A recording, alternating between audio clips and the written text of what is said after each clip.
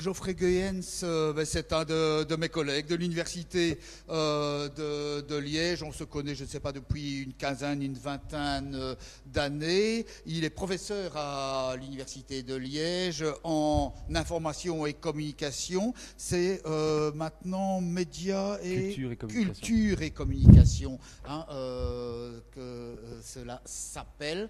il a déjà, il est spécialisé euh, dans les questions hein, de la grande bourgeoisie, la haute finance, le milieu des privilégiés, en lien avec euh, les médias, et il y a des liens énormes, on en apprendra euh, ce soir. Il a publié pas mal d'ouvrages sur le thème. C'est également un collaborateur et un ami des sociologues Pinson Charlot, pour ceux qui le connaissent. Donc ils collaborent ensemble. Et on est très heureux aujourd'hui pour l'extension Université de Mons dans ce cycle fake news, euh, de l'accueillir parce que euh, les fake news, ils se trouvent là où on pense qu'ils sont, mais parfois aussi là où on ne pense pas qu'ils sont. Et ça sera une occasion de euh, l'aborder à travers la conférence de cette fin d'après-midi. Donc voilà, Geoffrey, je te laisse la parole.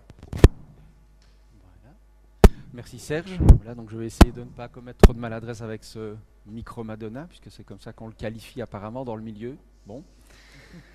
Voilà, alors je vais aussi essayer de, maîtriser tout entre les nombreux exemples que je veux vous montrer. Là, j'ai déjà, déjà perdu le PowerPoint, mais c'est peut-être que ça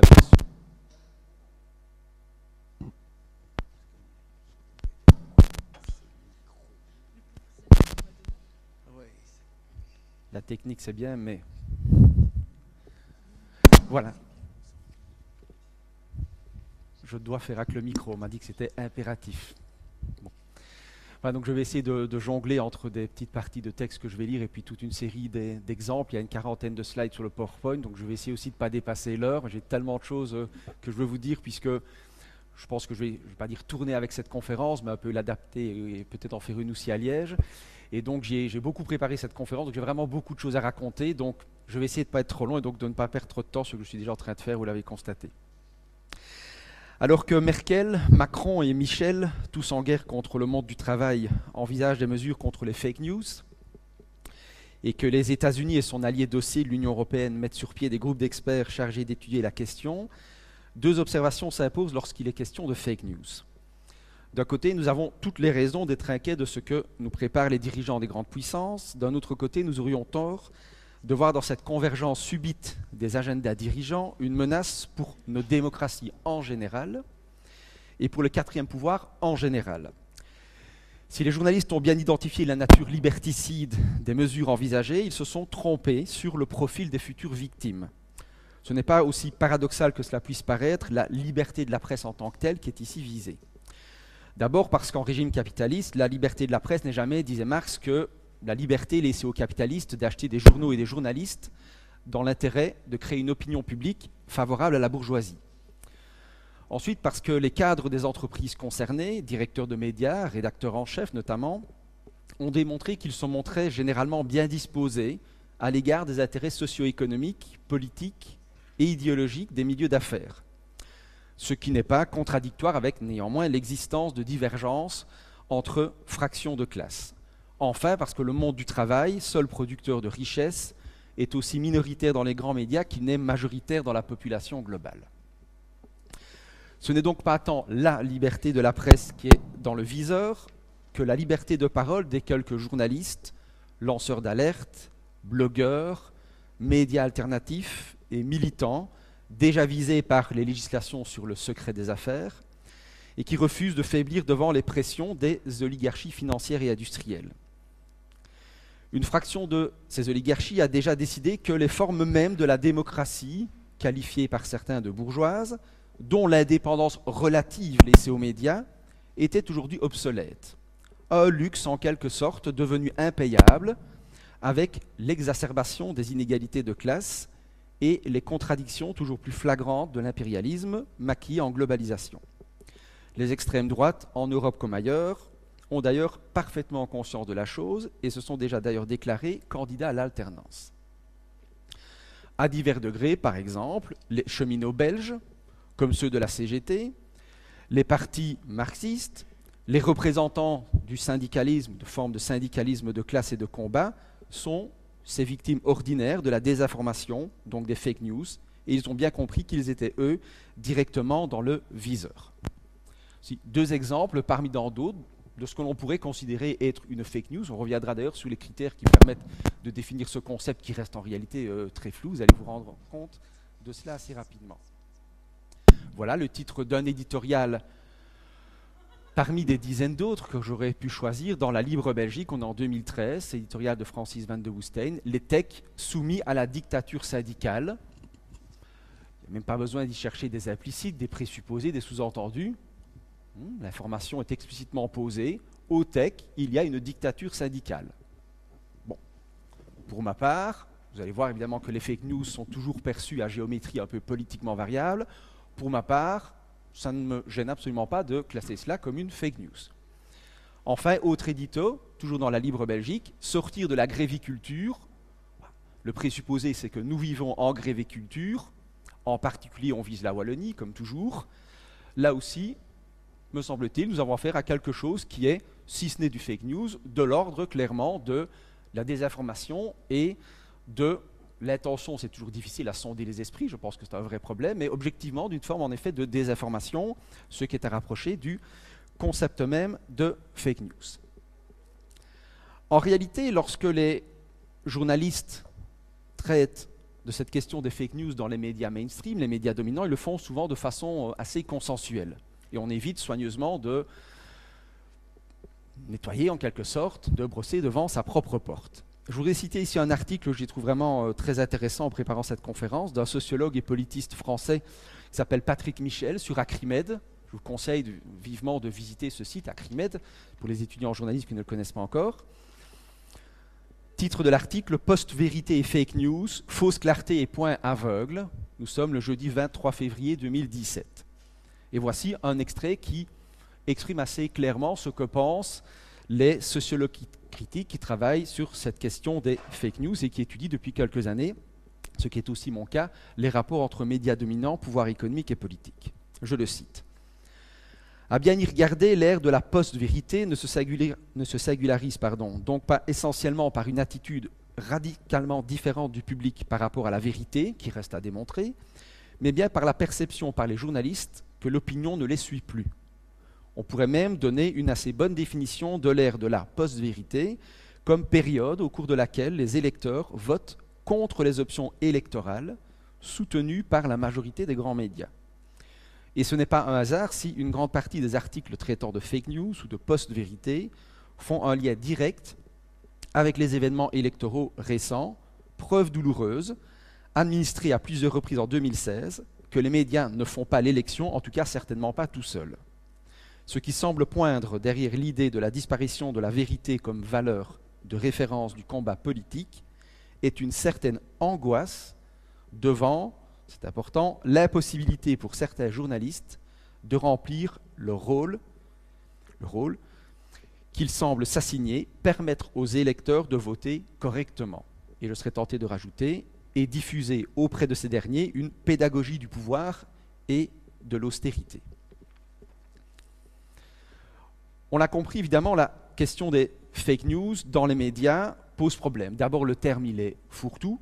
En réalité, on pourrait, il y a des nuances si l'on veut, mais tous les auteurs ne sont pas d'accord entre eux, mais le rapprocher du concept de désinformation, de mauvaise information, de propagande dans certains contextes, c'est un, effet, évidemment, un effet de mode pour l'instant.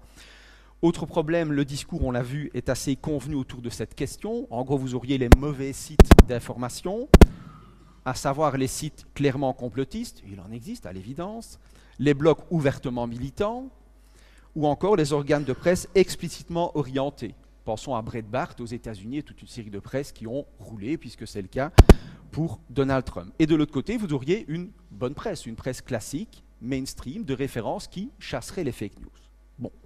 Très bien.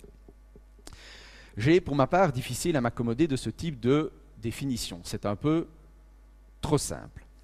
Alors, si on lit un peu les différentes définitions qui existent des concepts de fake news, notamment la recommandation sur les équivalents français à donner à l'expression de fake news, publiée dans le journal officiel de la République française le 4 octobre 2018, sur laquelle s'appuie notamment l'entrée de Wikipédia consacrée aux fake news, avec d'autres développements par ailleurs, on peut identifier une série de traits spécifiques relevant des fake news, une série de mécanismes qui sont associés et une série d'effets également associés à ces fake news.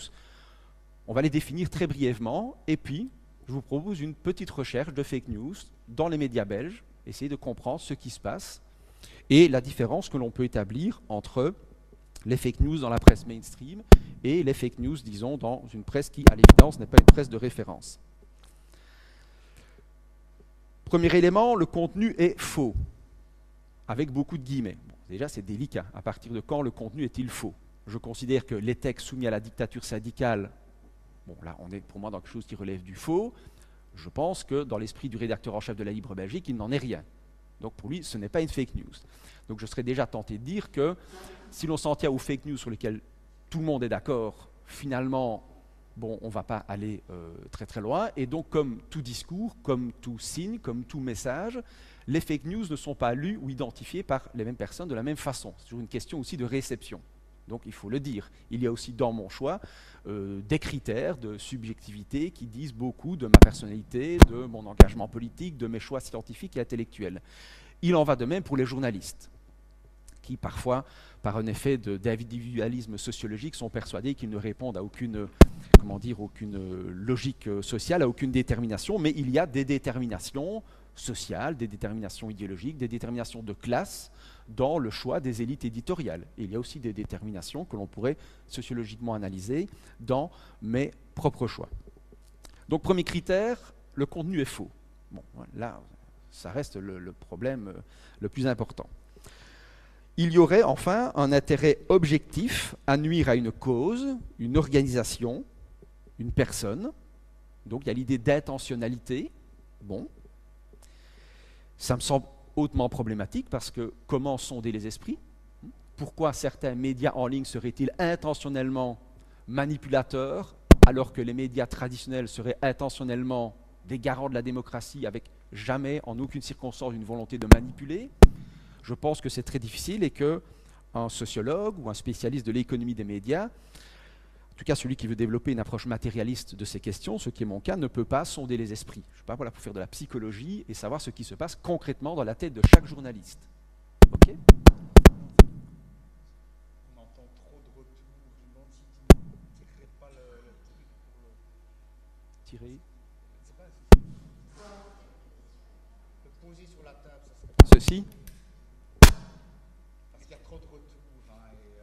C'est mieux On va voir.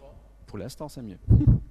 Donc, le contenu faux, c'est relativement problématique. L'intérêt objectif à nuire à une cause, une organisation, une personne. Intérêt objectif, je crois qu'on peut se mettre d'accord. Nous pouvons déterminer des intérêts objectifs. Bon, ok. L'intentionnalité, c'est beaucoup plus compliqué. Tirer profit de ces fake news, profit économique, politique, idéologique.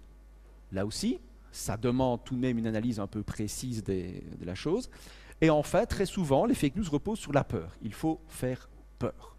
Donald Trump est un très bon exemple de cette stratégie de communication qui est aussi une stratégie évidemment politique. Alors, je voudrais, pour ne pas qu'on m'accuse évidemment de ne choisir que des sources singulièrement orientées, si tant est que des sources puissent être complètement désintéressées, personnellement je n'y crois pas, je vais citer évidemment Alexander de Croo.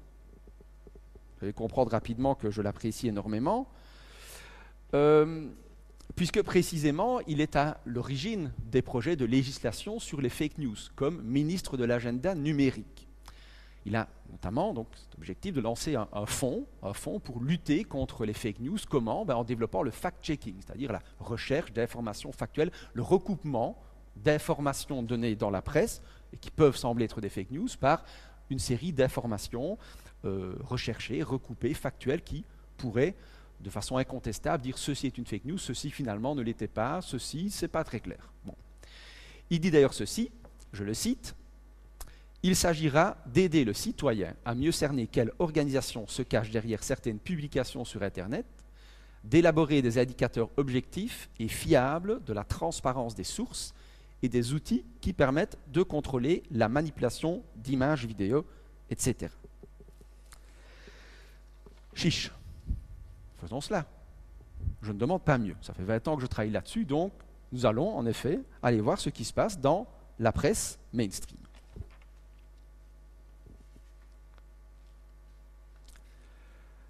Eh bien, commençons par un exemple d'Alexander de Croo dans la Libre Belgique. Interrogé sur le bien fondé d'une taxe sur le patrimoine ou d'un impôt sur la plus-value des actions, voici la réponse d'Alexander de Croo. Ce sont des impôts inefficaces que nous avons déjà évacués de la table il y a plusieurs mois. Impôts inefficaces. Imposer maintenant des impôts supplémentaires, ce serait pousser l'économie dans la direction d'une récession, avec des effets contraires à ceux que nous recherchons. C'est une belle histoire, c'est un, beau conte, c'est une analyse euh, économiquement euh, assez euh, et donc, c'est une fake news, à bien y regarder.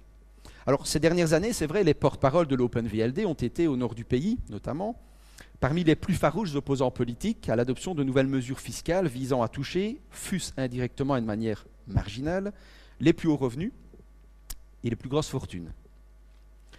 La crise et ses effets se faisant de plus en plus douloureusement ressentir chez les salariés, le rejet de toute forme de taxation des plus riches, taxes des millionnaires, impôts sur la fortune, taxation des plus-values, fut justifié au nom de la préservation, je cite, du pouvoir d'achat des familles, Luc Van Biesen, pensez probablement aux grandes familles, aux grandes fortunes de ce pays, de tous les Belges qui ne possèdent que leur maison et un peu d'épargne, Guy Van Engel, ça il fallait l'oser, ou encore de l'inefficacité de ces impôts identifiés à une menace pour l'économie belge, Alexander de Croo himself. Ces déclarations des leaders de l'OpenVLD pourraient être considérées par certains observateurs comme choquantes. Songeons à la confusion savamment entretenue visant à faire croire que l'ISF toucherait les familles belges, alors même que ce dernier vise le pouvoir des grandes familles. On aurait cependant tort de ne voir dans ces déclarations que de simples dérapages verbaux, si tant est qu'ils puissent être qualifiés comme tels. Ce que l'on sait depuis Marx, c'est que l'idéologie s'attache pour l'essentiel à faire passer des intérêts particuliers pour l'intérêt général. Les familles, les Belges, l'économie belge. Pour en revenir au leader de l'OpenVLD, on pourrait aussi se demander si l'opposition de principe qu'il manifeste à l'égard de l'ISF trouverait un écho aussi favorable dans une partie de l'opinion, dès lors que serait précisée la proximité qui est la leur ou celle de leurs collègues de parti avec quelques grandes fortunes belges. Pourtant, c'est bien à cela que nous invite M. De Croo, être transparent, qui parle, dans quel contexte. Les liaisons dont il est ici question ne sont certes pas secrètes, elles n'en demeurent pas moins discrètes et témoignent à leur façon de cette forme d'entre-soi si spécifique à la grande bourgeoisie. Je vous donne quelques exemples.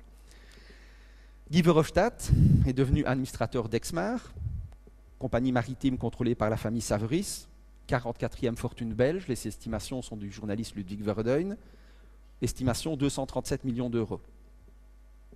La fortune du frère de Nicolas Saveris, Marc Saveris, est-elle estimée à 936 millions d'euros, 11e fortune belge. Guy Verhofstadt cumule ce mandat avec un mandat d'administrateur à la Sofina, la famille Boel, 14e fortune belge, 759 millions d'euros. Je continue. Je les ai tous fichés, hein, mais je vais en donner quelques-uns. Sinon, ça pourrait être très long.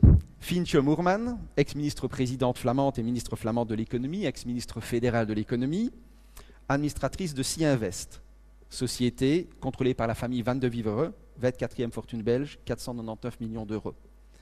Annemie Neitz, ex-ministre fédéral des Affaires européennes, du commerce international et de l'agriculture, ex-présidente de l'Internationale libérale, ex-vice-présidente du VLD, administratrice UCO, famille Vlerick, 182e fortune, 38 millions d'euros. Précisons aussi que l'époux d'Annemie Neitz, Freddy Neitz, a été président de la section Bruxelles-Ville de l'Open VLD et il est responsable des relations extérieures, ou était jusqu'il y a peu, responsable des relations extérieures du groupe Roularta, nous y reviendrons, contrôlé par la famille Donolf Class. 82e fortune, 131 millions d'euros. Herman De Croo, ex-président de la Chambre des représentants, ex-président du VLD, ex-ministre fédéral des pensions, des transports et du commerce extérieur. J'ai l'impression que je l'ai tout petit déjà, il était ministre, quand j'étais moins tout petit, pas lui bien sûr. Il est vice-président de Texaf Holding, active notamment au Congo, présidé par le baron Dominique Mourkens, 34e fortune, 310 millions d'euros. Enfin, Alexander De Croo lui-même a été, jusqu'il y a peu aussi, le co-gérant d'une société informatique, DartsHip, à travers laquelle il avait pour associé Arnaud Van Weyck, un héritier du groupe Unilever, ou encore Guillaume Van Rijkenvoort fils d'un ancien membre du comité exécutif de Solvay, membre de la famille UCB Solvay-Boel, 80e fortune, 266 millions d'euros. Alors, voilà, vous avez compris un peu la démarche. Nous allons donc chercher les fake news et essayer d'être transparent. Donc quand un ministre ou un ancien ministre VLD parle, qui parle? L'ancien ministre hmm, ou l'attaché d'affaires d'une grande fortune belge? C'est une question que l'on est évidemment en droit de se poser. Alors, bien entendu, il y a d'autres exemples. Pas uniquement se focaliser sur euh, l'Open VLD. On pourrait avoir l'impression vraiment que je suis monomaniaque, ce qui n'est pas d'ailleurs tout à fait faux, il faut le savoir. Alors quelques économistes vedettes, parce que les économistes vedettes sont eux aussi, alors ils ne seraient probablement pas d'accord, le débat est ouvert, je les invite, à, je serais volontiers content de débattre avec eux, mais sont aussi, selon moi, porteurs de fake news. Voici un exemple parmi tant d'autres, Roland Gillet. Alors je précise chaque fois aussi comment il est présenté dans le média, c'est très très intéressant. Hein. Roland Gillet, Sorbonne et ULB. Hein, Sorbonne et ULB, c'est Sorbonne et ULB, quoi. Hein. Bon, ULB, c'est ULB, mais Sorbonne, U-Liège, vous voyez, Sorbonne, U-Liège, là, quelque chose. Hein. Un impôt sur la fortune est hasardeux. Ah bon Hasardeux. Bon. L'écho, 12 avril 2014. Et l'expert est présenté comme suit professeur de finance à la Sorbonne ainsi qu'à l'ULB Solvay et expert au niveau international. Ce n'est pas faux. On aurait pu aussi préciser qu'à la même époque, entre autres mandats, il était administrateur de CPH Bank, par exemple. Ah, c'est bien là, hein, il y a une indication sortie en principe. Pas le rouge, le blanc. Le blanc, non, le blanc. Oui.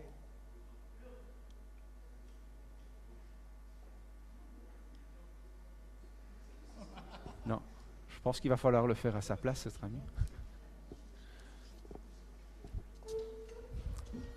Je continue.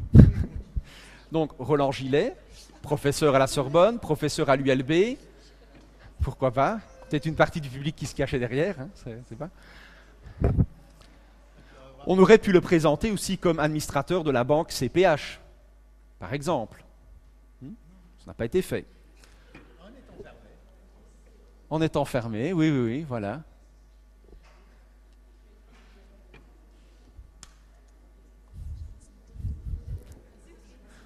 Non, non. C'est le rouge, oui. C'est le rouge, oui. Voilà, c'était bien le rouge. Je n'y croyais plus. Hein.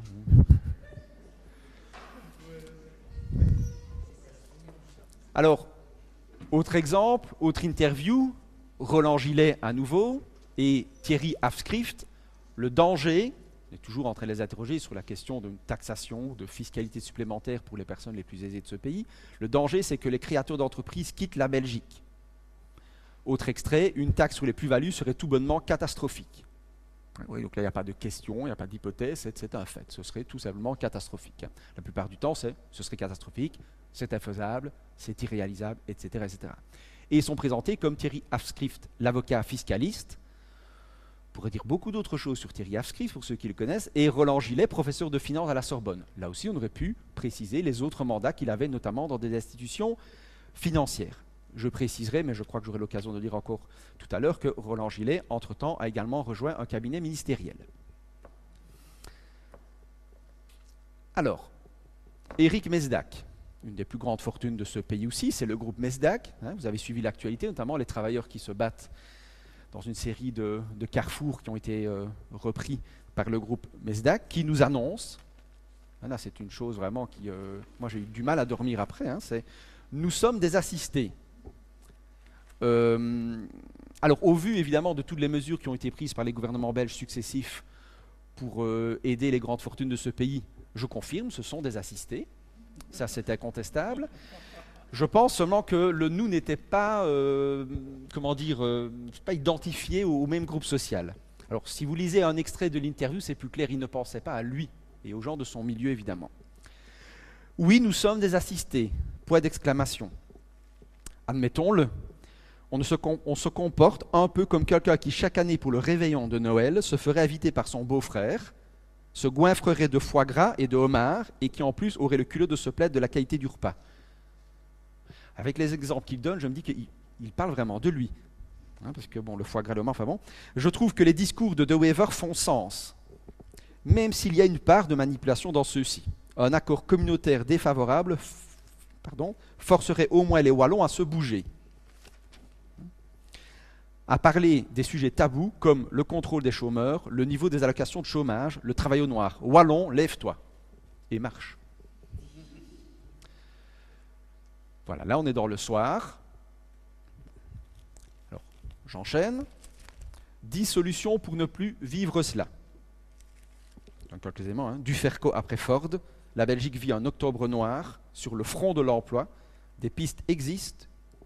Pourtant, pour briser ce cycle infernal, parole aux experts, bien sûr.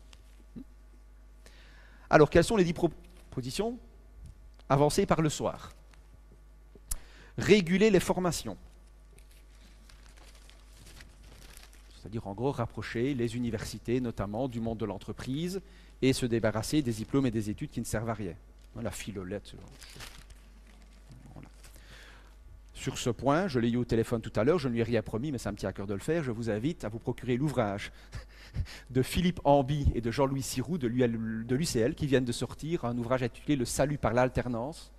Le salut par l'alternance, une sociologie des rapprochements école-entreprise qui est absolument formidable. Deuxième proposition, surveiller les coûts salariaux.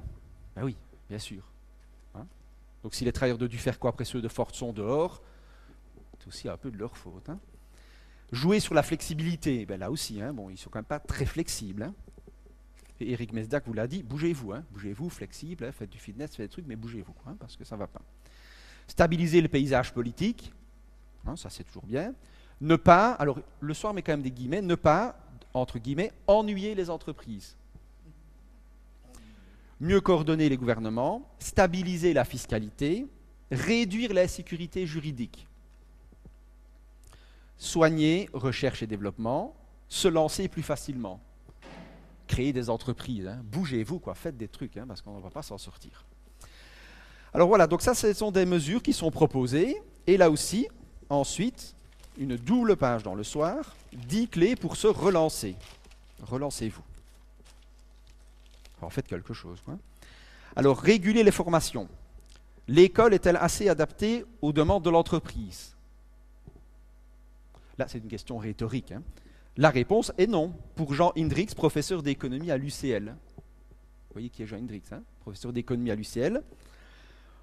On précise rarement qu'il est aussi membre d'un think tank qui s'appelle Itinéraire Institute, contrôlé par quelques grandes fortunes belges, think tanks, très clairement néolibéral, entretenant des liens très étroits avec les plus grandes entreprises du pays. Surveiller les coûts salariaux, Là, on a une petite intervention de Robert Plasman de l'ULB, et puis surtout Peter Timmermans, directeur de la FEB. Ne pas ennuyer les entreprises. Là, l'intervention Didier Paco, Union Wallonne des entreprises, Vincent Reuter, administrateur délégué de l'Union Wallonne des entreprises. Hein, donc à l'époque, patron de l'Union Wallonne des entreprises, lui aussi vient de rejoindre un cabinet ministériel MR. Un paysage politique stabilisé, Pascal Delwitt, politologue ULB, on y reviendra. J'ai aussi un slide. Stabiliser la fiscalité, source Fédération des entreprises de Belgique, et Étienne de Calatet, économiste en chef de la Banque de Groof. Banque de Groof, c'est gestion de fortune, hein. vous n'allez pas là pour ouvrir un compte d'épargne. Hein.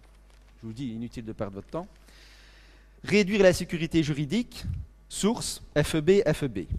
Voilà. Donc des informations sujettes à caution. En termes de transparence, comme nous propose le ministre de Croo, qu'est-ce qu'on constate?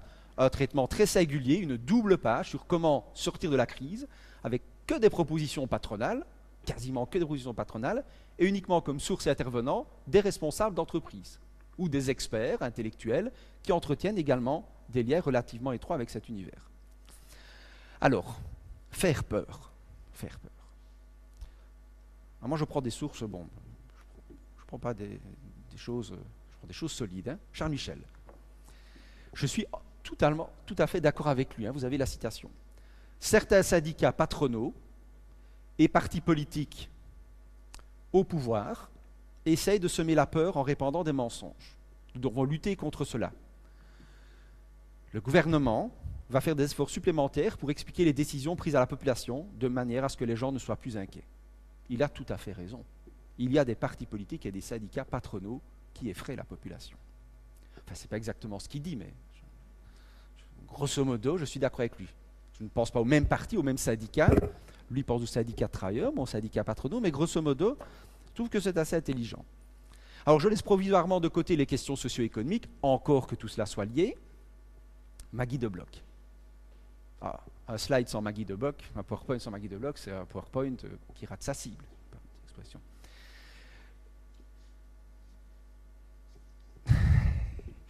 Il y a beaucoup de présupposés dans cette euh, Maggie de Bloch. 90% des demandeurs d'asile n'ont pas de raison de venir ici. Ah ben voilà. Ah, vous ne le saviez pas, hein?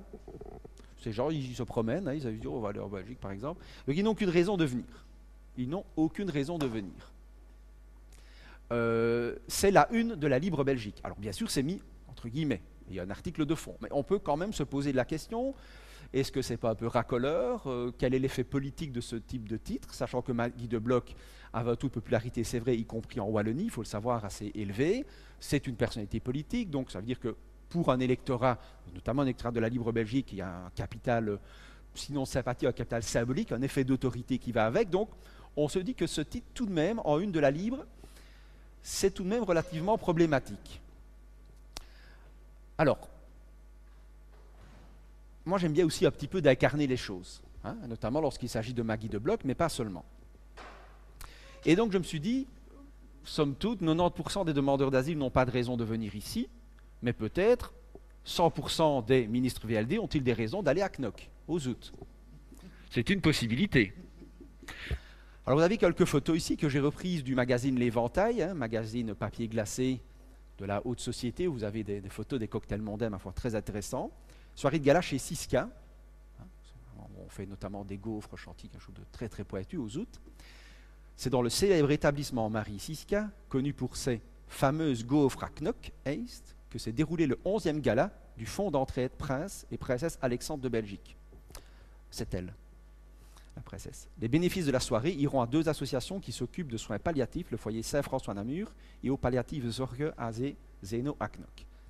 Et qui voit-on La princesse, Maggie de Bloch, toute souriante, et Léopold Lippens, autre grande fortune belge, bourgmestre de Knock, qui s'est fait remarquer, je pense plus ou moins euh, à la même époque, lorsqu'il avait annoncé qu'il faudrait peut-être envisager pour tous les étrangers, réfugiés, illégaux, il précisait illégaux, qui passaient par la côte, d'envisager la création d'un Guantanamo, euh, sans torture bien sûr, et qu'on les renvoie chez eux.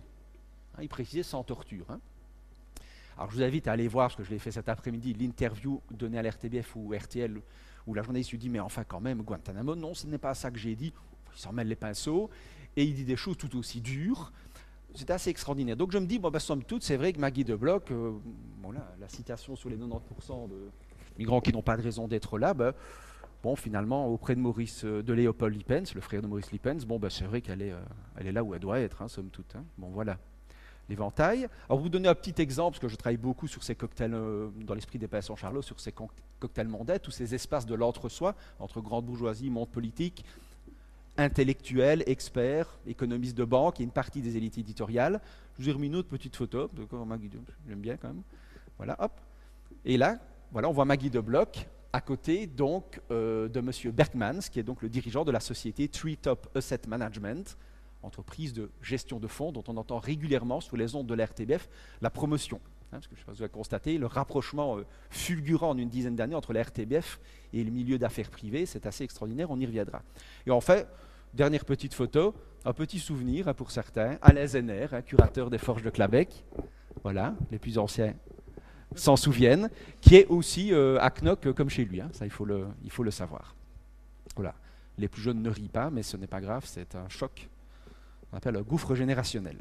Alors, je continue. Alors, il faut continuer à faire peur. Hein, donc, les syndicats, une série d'intellectuels, certaines études. Après, bon, politiquement, évidemment, euh, la presse mainstream ne peut pas, ne peut pas, ne pas parler du PTB, bien entendu. Ce serait compliqué, vu les résultats électoraux, les sondages précédemment. Ce qui est intéressant, c'est de voir le traitement. Le traitement parfois très euh, différencié. Et là, on va constater qu'en partie, les publications, pas seulement, mais notamment les publications du groupe Roulartin, le Vif l'Express, Trends Tendance, la presse économique, pas seulement la presse économique, s'en donne à cœur joie. Et on se dit, ben là, on a des exemples qui sont vraiment assez proches de ce qu'on peut appeler le fake news, puisqu'il y a euh, quelque chose qui peut être qualifié de, de, faux, de très largement exagéré à tout le moins, une intention, intention difficile à dire, mais un effet en tout cas produit sur le lecteur, c'est de donner une image négative de ce parti en l'espèce, et un intérêt à la fois politique, idéologique et économique, économique à travers des titres très accrocheurs, il faut vendre, et un intérêt politique et idéologique pour les patrons de presse, qui sont parmi les plus grandes fortunes du pays, on va y revenir, à parler dans ces termes de cette structure. Donc là, vous avez le programme du PTB démonté par deux économistes. Comme je vois que je perds déjà beaucoup de temps, voilà, c'est Philippe de Feit et Bruno Coleman, hein, parce que Bruno Coleman, bon voilà, un, article économique sans Bruno Coleman, ce n'est pas un article économique. Hein, il y a des journalistes économiques, sans Bruno Coleman, ils ne savent plus écrire. Bon, dont acte.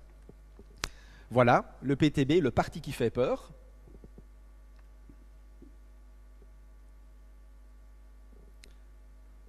C'est toujours dans le même dossier. Hein. Donc c'est un dossier sur les propositions à la loupe par deux économistes qui n'ont pas les mêmes positions sur toute une série de questions, mais qui restent quand même grosso modo mainstream dans le système actuel.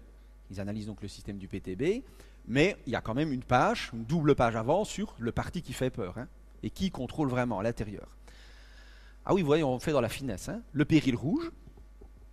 Hein, Anne Morelli était là, on est dans les classiques de l'anticommunisme primaire. Et vous vous aussi pollué par l'extrême gauche, avec la possibilité donc de mesurer un test, mesurer votre taux de contamination. C'est tout en finesse, c'est tout en finesse de standard, là aussi, tout en finesse. Hein, vraiment, tout en finesse. Un doigt peut te briser, pas un point fermé. Hein, donc, euh, ça fait peur. Hein. Alors, celle-là, j'adore. Raoul en Lénine, c'est formidable quand même. Télémoustique, le péril rouge aujourd'hui. Enfin, tout de même, euh, est-ce bien raisonnable? Est-ce bien raisonnable? Alors, celle-là, c'est ma préférée. Incontestablement, je, lui remets le prix le PDB prêt à gouverner et en dessous il est indiqué notre manuel anti-PTB pour éviter la misère à 4,6 millions de francophones. La voici.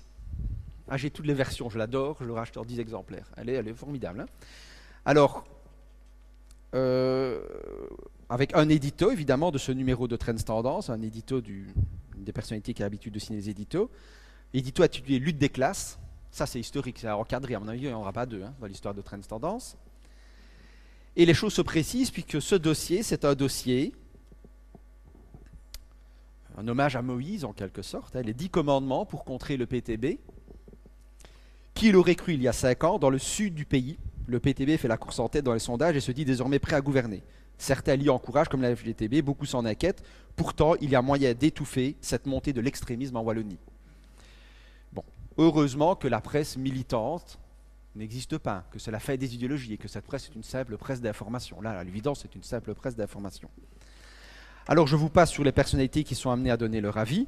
Hein. vous retrouvez des banquiers, des économistes de banque, des intellectuels de banque, enfin des banques, hein, sous toutes leurs formes. Hein. Voilà. Dans ce dossier, un article de fond. Le PTB est le pouvoir, oui, mais le pouvoir total. Alors là, je n'ai toujours pas compris l'argumentation, et peut-être vous allez m'aider. Cet article se termine ainsi. Et Peter Mertens, président du PTB, d'ajouter Nous voulons l'émancipation des gens. Cela veut dire que les gens s'organisent, se conscientisent et se mobilisent. Il est absurde de parler d'une participation gouvernementale sans qu'on ait construit un contre-pouvoir. Nous le disons à nouveau, et c'est aussi ce à quoi nous œuvrons. Commentaire du journaliste, c'est pas signé, bon, ça, il l'a peut-être fait à deux, ceux qui ont rédigé le dossier. En résumé, si c'est pour aller au pouvoir, c'est à condition qu'il soit total. participer au gouvernement et tirer les ficelles du contre-pouvoir. Que disait donc Marx? Ah oui, la dictature, trois petits points du prolétariat.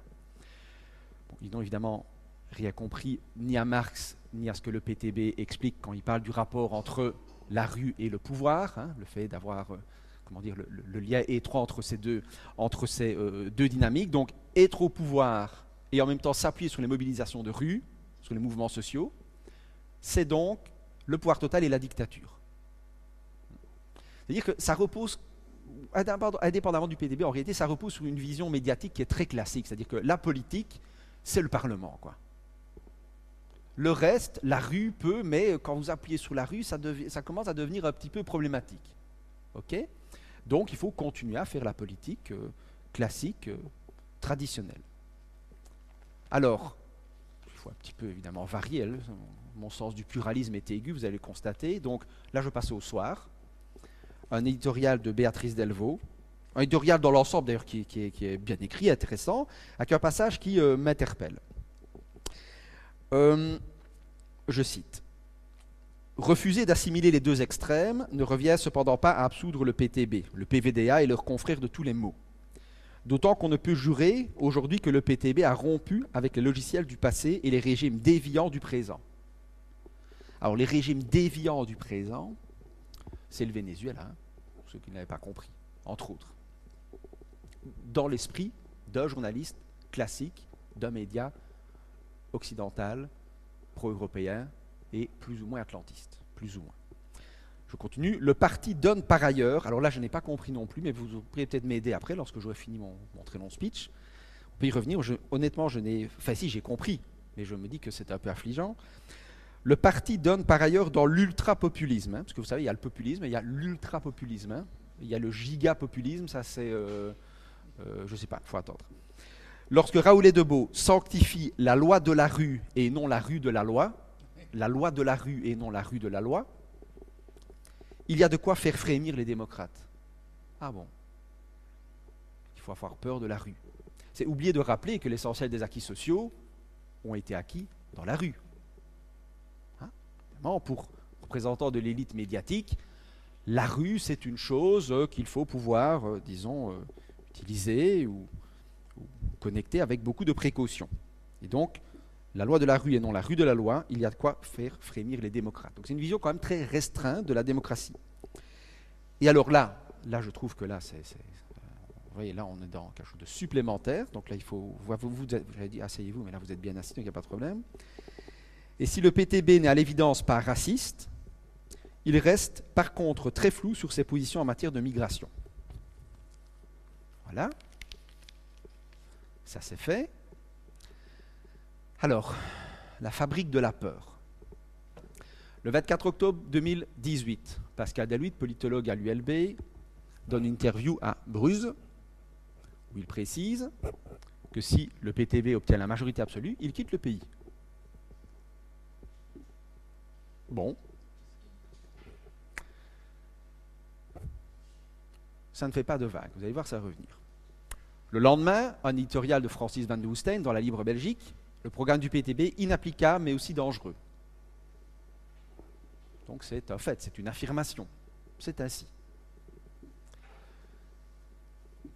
Le sur le lendemain, le 26 octobre, dans l'écho, le PTB au pouvoir, c'est notre prospérité détruite. Là, à nouveau, le nôtre. De qui parle-t-il? Derrière de jolies promesses impossibles à financer, de réelles préoccupations sociales respectables, c'est respectable, hein. Le programme du PTB est un danger pour l'économie belge. Derrière de jolies promesses impossibles à financer, ça revient, et de réelles préoccupations, il est un danger pour l'économie belge. Il détruirait notre prospérité, ferait crouler la classe moyenne sous les taxes et nuirait fondamentalement au développement de la Wallonie et de Bruxelles. Ça, c'est l'argument classique. Il faut toujours, pour la classe dominante, s'appuyer sur d'autres classes aux fractions de classe pour assurer son hégémonie. Les classes moyennes, c'est le pivot. Vous avez beau préciser en long et en large qu'une série de taxes vont toucher les grandes fortunes et les familles les plus privilégiées de ce pays et le grand capital, on vous dira vous allez tuer les classes moyennes. Ce n'est pas la même chose. Le projet est inefficace, impayable et tout simplement pas viable. C'est ainsi. Le débat est fermé. Le 26 octobre, les médias vont réagir à l'interview de Pascal Delouit, dans une interview accordée à nos confrères de Bruce, il affirme clairement que si le PTB obtient une majorité absolue en Belgique, il déménage. Point d'exclamation. Ça, il faut savoir que euh, la Meuse et la dernière heure souvent utilisent les points d'exclamation dans les unes. Je ne sais pas si vous avez remarqué, j'étudie ça avec les étudiants. il viole et tue sa grand-mère, point d'exclamation. Pour bien comprendre que franchement, ce n'est pas correct. Hein. donc euh, voilà, ils ont un, abus, un usage abusif des points d'exclamation. Donc ici, on vous dit, il, déménage. Ça veut dire que situation est grave. Hein. Le même jour, dans l'ADH, Pascal Delhuit, si le PTB obtient une majorité absolue, je déménage. Hein, donc vous voyez, ça a été repris également. Alors il est temps de se poser une série de questions. Maintenant qu'on a un peu fait le tour de ces quelques fake news. Hein.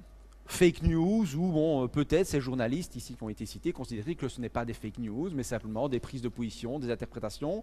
J'aimerais bien précisément qu'à part quelques exemples où on a inventé quelque chose de toute pièce, qu'il me prouve que systématiquement nous ne sommes pas dans euh, euh, les fake news. Et comment distinguer fake news des informations? Ce n'est pas très clair.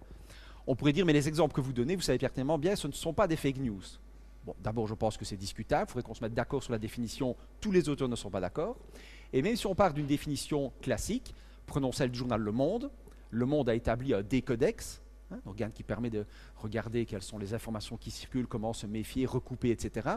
Au-delà de toute une série de critiques qu'on pourrait formuler à l'égard euh, décodex, ce sera peut-être fait euh, prochainement, j'imagine, lors du prochain débat, le monde fait exactement ce que j'ai fait, c'est-à-dire que le monde va prendre toute une série de positions. Par exemple, j'ai vu un article sur le monde, des codex, travaillant notamment sur cette question de, fake news.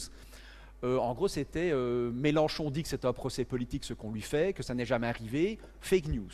Et il démontre que d'autres partis ont déjà reçu la visite de policiers, que ceci, que ceci, que ceci. Précisément, en ayant réécouté toutes les interviews des responsables, ça a pris du temps pour préparer la conférence de la France Insoumise, que ce soit euh, euh, Corbière, euh, que ce soit François Ruffin, que je connais depuis très très très longtemps,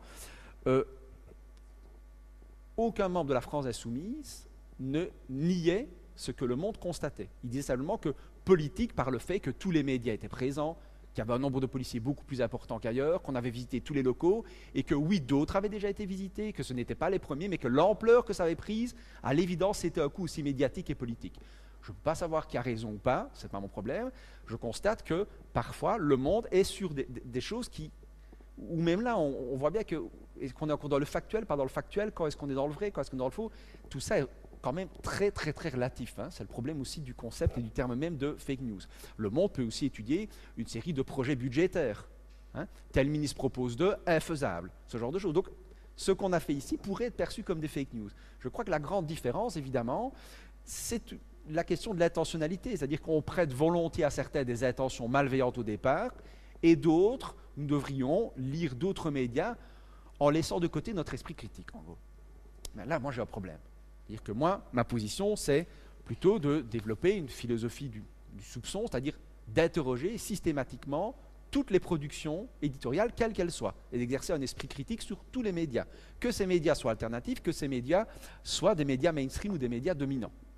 Sinon, qu'est-ce qu'on fait? On fait ce qu'on appelle de l'éducation aux médias mainstream, telle qu'elle est envisagée généralement par les responsables politiques, c'est-à-dire quelque chose qui ne mange pas trop, euh, qui ne mange pas, qui ne mange pas de pain, et qui ne risque pas évidemment de remettre en cause les structures économiques et politiques traditionnelles de l'industrie des médias. Alors il est temps de se poser une question, puisqu'on a identifié des choses qui sont proches des fake news. La question de l'intentionnalité, on ne peut pas y répondre, mais on peut voir qu'il y a des intérêts objectifs à s'opposer à certaines mesures fiscales, à certains mouvements sociaux, à certaines organisations syndicales ou à certains partis de classe, ça c'est très clair, et qu'il y a des intérêts objectifs pour les propriétaires des médias, qui sont parmi les plus grandes fortunes du pays. Le contenu, l'intérêt objectif, la volonté de nuire. Je l'ai dit, la volonté, je ne peux pas le savoir, je ne veux pas prêter d'attention, mais l'effet concrètement de stigmatisation de certains acteurs du champ politique et du champ syndical, c'est très clair aussi. Alors, à qui appartiennent les médias en Belgique? Il faut savoir que je donne 30 heures de cours là-dessus, rien que sur cette question-là à l'université. Donc, là, il est 18h56, donc ça va être. C'est juste? C'est ça, hein? Ça va évidemment être un peu juste. Donc, je vais aller à l'essentiel. Le Pers Group. Le Pers Group, c'est notamment la famille Van Tilo. 14e fortune belge, 1,6 milliard d'euros. Cette famille, seule, contrôle ces médias. OK Mediaeus, né du rapprochement relativement récent de Concentra, Corelio et l'arrivée d'un actionnaire néerlandais. Le groupe Corelio, qui est actionnaire aujourd'hui de Mediaeus, un peu plus de 50% du capital, réunit les familles Bertrand, 1,6 milliard d'euros. Enfin, vous avez la liste. Familles qui entretiennent des liens très très étroits avec la plupart des formations politiques du nord du pays, singulièrement le CDNV, le VLD et un petit peu aussi l'NVA. Concentra, d'autres familles belges, une famille néerlandaise, et voici ce que ces familles belges, grande fortune belge et grande fortune des Pays-Bas, contrôlent comme médias en Belgique. C'est pas mal, hein? Het van Limburg, Gazette van Antwerpen, De Standard, un Nieuwsblad, Métro. Avec Rossel, vous voyez ce qu'est Métro. Hein? C'est comme le Canada Dry, quoi. Ça ressemble à de la presse, a la couleur de la presse, c'est pas de la presse. Ça ATV, Antwerp Televisie, TV Limburg, TV Oost, Rob TV, c'est-à-dire toutes les télévisions régionales en Flandre, RTL Belgium, une participation dans RTL, et Nostalgie, avec un partenaire français. Voilà, juste un exemple du profil type des dirigeants des grands médias en Belgique. Thomas Leisen est à la tête de ce groupe de médias. Il est le président de la KBC, la première banque privée du pays, le premier groupe financier du pays. Il est membre de la table ronde des industriels européens, plus grand lobby défendant les intérêts des principales multinationales en Europe. C'est aussi l'ancien président de la Fédération des entreprises de Belgique, comme son papa, papa André. Papa André qui a eu une trajectoire comparable au fiston. Il a été aussi président de la Fédération des entreprises de Belgique, à l'époque des gouvernements Martens-Goll. Hum, la belle époque. Il a été président d'Agfagewart, lui aussi membre de la table ronde des industriels européens, comme le fiston, administrateur de Deutsche Telekom, Bayer, BMW et Philips. Le groupe Rossel, famille urbain, 168, 69 millions d'euros, contrôle le soir, le soir Mac, la Meuse, etc., Grens Eco, De Teide, l'Eco, Métro, etc., etc., etc. En gros cinq groupes maintenant en Belgique si on accepte le cas Netis Publifine, comme liégeois, je ne veux plus parler aujourd'hui de Netis Publifine. Hein. Vraiment, si vous assistez tout à l'heure. J'ai quand même des choses à dire. Alors le groupe Rossel, un exemple, hein, parce que souvent on présente Rossel, on dit une famille de presse. Oui, famille de presse, ça n'exclut pas le fait que les membres de la famille aient des mandats dans d'autres secteurs que la presse. L'administrateur délégué de Rossel, Bernard Marchand, a été administrateur de Gomio, c'est justement hier, je pense qu'il y a eu l'édition du nouveau Gomio, on l'annonçait euh, sur les ondes de la première, hein, le guide gastronomique.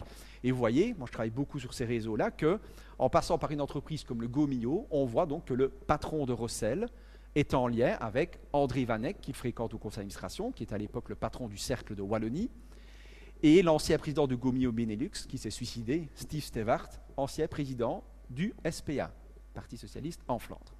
Et on voit aussi que Bernard Marchand a été conseiller d'ING. Et là, quelques administrateurs indépendants de Mediafin. Mediafin, c'est la filiale que Rossel partage avec Roularta et qui contrôle l'ECO et le TAID, les deux quotidiens économiques et financiers du pays. Et vous y retrouvez le baron Éric de Keulener, économiste très très présent dans les médias, Marc Saveris, une des plus grandes fortunes du pays, active dans les transports maritimes, et Caroline Powells, récemment euh, nommée administratrice de ce groupe privé, alors même qu'elle est rectrice de la VUB, là aussi, c'est à la fois le signe et, une énième nomination qui vient renforcer cette proximité entre le monde de l'enseignement et le monde des grandes entreprises. Quelle belle époque on vit. Le groupe IPM, Famille Le Audet, la Libre Belgique, l'ADH et d'autres actifs. Je vous ai mis uniquement le nom du président, indépendant, puisqu'il ne représente pas la famille actionnaire, indépendant avec beaucoup de guillemets.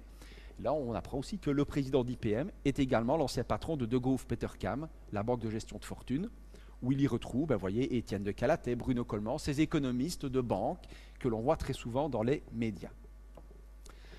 J'en viens enfin à Roularta. On a beaucoup parlé du Vif Express, on a beaucoup parlé de Trends Tendance. Hein. Ces publications appartiennent aujourd'hui à Roularta. Roularta est également sous le contrôle d'une seule famille en réalité, alors, il se fait que si vous utilisez le site de Rijkste Belge, donc les Belges les plus riches, le site du journaliste d'investigation Ludwig Verduin, qui reprend les 500 plus grandes fortunes du pays, avec une estimation basse, basse de leur fortune, il distingue les familles Denolf et Claas. La réalité, c'est que c'est une seule famille, puisque celui qui a été le, patriarche de ce groupe, Roulartin, qu'on surnommait même en France le papivore flamand, tellement il rachetait des médias en France, c'était un clin d'œil, évidemment, le papivore flamand ou papivore en France, qui était Robert Hersant, si je ne me trompe. Rick Denolf a épousé la sœur de Léoclas. Et Léoclas a épousé la sœur de Rick Denolf. Ah, Dans ce monde-là, vous savez, les mariages, c'est une histoire de placement dans tous les sens du terme, et on ne mélange pas les torchons et les carpettes.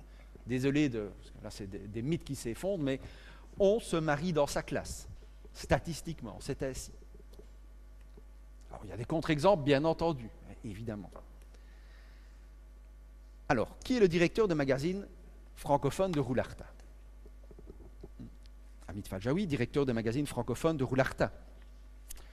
J'ai un extrait d'une de ces cartes blanches, chroniques et interventions. Nous sommes le 28 mars 2017. Et voici ce qu'il dit. Plus qu'un parti marxiste, le PTB est d'abord le parti des stakhanovistes de la peur. Les diverses formes de peur alimentent le fonds de commerce du PTB, la peur de soi, la peur de l'autre. Ah, la peur de l'autre. Ah. Là, je, on, m'aurait dit mettre euh, Modric Amen et son parti, qui est, comment encore, le parti populaire? Là, oui. Alors, la peur de l'autre, l'NVA, je vais bien. Donc, mais tout est permis. hein. La peur de soi, la peur de l'autre, la peur d'être seul, la peur d'être agressé, la peur de demain, la peur du chômage, la peur du déclassement social, la peur du terrorisme, la peur de la mutation, la peur de vieillir. Euh, une émission de Jean-Luc Delarue, vous voyez, je pas.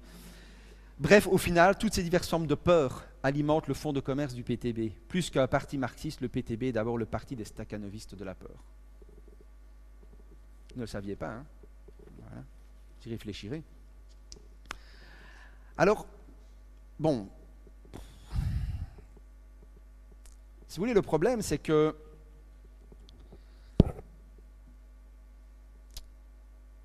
cette chronique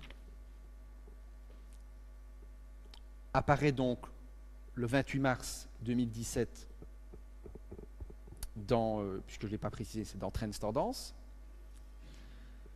Mais elle avait également d'abord été passée sur les ondes de Classique 21 le jour précédent, puisque Amit Faljaoui, euh, lui arrive évidemment qu'une chronique soit présente dans Trends Tendance, et puis qu'elle soit présente le jour avant, le lendemain, sur Classique 21 ou Musique 3.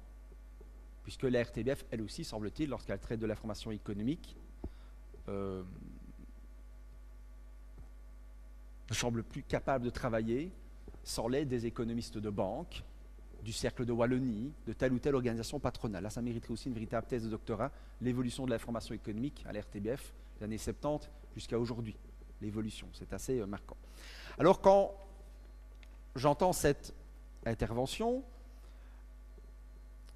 et que cette personnalité est présentée notamment sous les ondes de la RTBF comme euh, journaliste et directeur des magazines francophones de Roularta, ce qu'il est, je me dis oui. Est-ce que cette chronique serait reçue de la même façon, puisqu'on parle en termes de transparence, si on précisait que voici la chronique d'Amit Faljaoui, administrateur de l'Union des classes moyennes.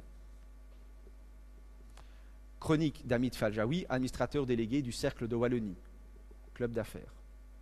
Ou encore, chronique d'Amit Faljaoui, ex-dirigeant du Business Club B19. Ou encore, chronique d'Amit Faljaoui, membre du Cercle de Lorraine.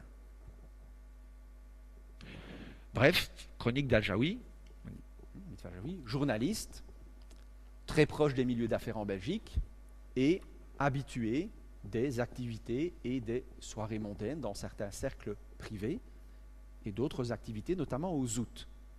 J'y reviens souvent au zout, mais le zout sociologiquement c'est vraiment intéressant. Parce qu'à l'Union des classes moyennes, bon, évidemment, il n'y est pas seul.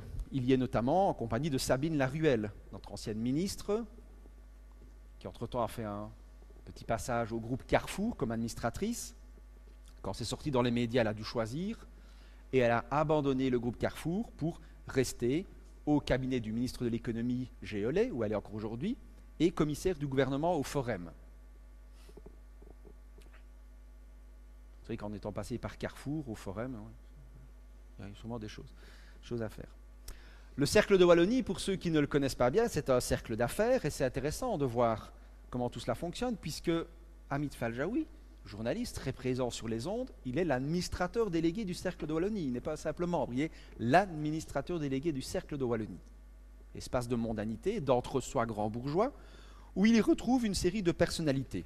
Je vous ai donné uniquement, non pas tous les membres, assurez-vous, mais ce qu'on trouve sur Internet, les membres du Conseil stratégique.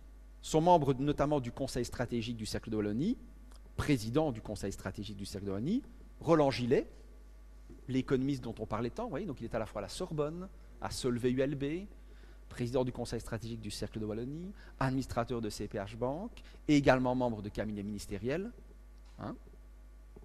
Là, on se dit que Eric Mesdac, quand il dit euh, bougez-vous, ben oui, ces gens-là, ils savent se bouger, quoi. Hein. Vraiment, nous. Euh, membre du Conseil stratégique Thierry Geertz, patron de Google Belgique, et membre du Conseil stratégique, il y en a quatre, j'ai oublié le quatrième, dernier membre du Conseil stratégique du Cercle de Wallonie, Marc Dubois, de la famille Dubois, actionnaire de Spadel. Non, ça c'est Chaudfontaine. L'eau de Spa. 38e fortune belge, hein, avec l'eau, quand même, hein, ça rapporte l'eau, 678 millions d'euros. Sont membres du comité de soutien du Cercle de Wallonie, ça dit quelque chose, il du carnet d'adresse d'Amit Faljaoui, hein, et du, groupe social dont il est en quelque sorte un des membres, a des représentants. Gramsci aurait à des intellectuels organiques, probablement. Le baron Luc Bertrand, 17e fortune belge, 1,6 milliard d'euros, dont la fille est chef de cabinet de Didier Renders. Corinne Boulanger, directrice de la première. Il faut savoir que le Cercle de Wallonie fait sa rentrée chaque année, évidemment, comme tout écolier. Et le Cercle de Wallonie organise sa rentrée avec Wallonia Digital, Trends Tendance et la radio La Première, avec une conférence débat en direct sur les ondes de la première, en direct du Cercle de Wallonie. Vraiment. Olivier de Wassège, patron de l'Union Wallonne des entreprises. Jean Eilenbosch, récemment fait baron, patron de Coca-Cola en Europe. Dominique Leroy, patronne de Proximus. Johan Condeit, rédacteur en chef de l'Echo. Laurent Levaux, Avia Partner. Hmm, clin d'œil aux camarades et à la victoire remportée par les travailleurs d'Avia Partner récemment. Thierry Nollet du groupe S, fils de Michel Nollet. Petit clin Forge Clabec pour ceux qui ont suivi. Laurent Despy, administrateur de l'ULG. Le PDG de Belfius, Marc Rézière. Guy Quaden, ancien gouverneur de la Banque nationale devenu administrateur d'une banque privée au Liban. Jean-Paul Servet, président de l'autorité de contrôle des services financiers. Un europage intéressant. Alors, là c'est simplement quelques exemples que je vous laisse lire et qui vont un peu illustrer une partie de ce que je veux dire. Face à tout cela,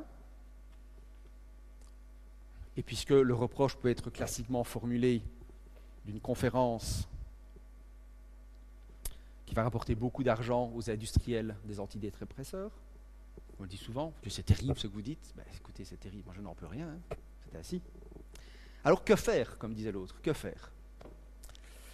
Plusieurs propositions à court, moyen et long terme hein, pour lutter contre les fake news, améliorer les conditions de travail des journalistes et tenter d'avoir un véritable pluralisme de l'information en Belgique, lorsque l'on voit le degré de concentration des médias dans un nombre de mains toujours plus réduite, d'actionnaires privés qui sont par ailleurs parmi les plus grandes fortunes de ce pays. D'abord, s'opposer avec les professionnels de l'information, les journalistes, l'immense majorité des journalistes, à toute législation anti-fake news, visant à mettre au pas opposants politiques, syndicalistes de combat, médias alternatifs, journalistes d'investigation, récalcitrants dans les médias mainstream, lanceurs d'alerte.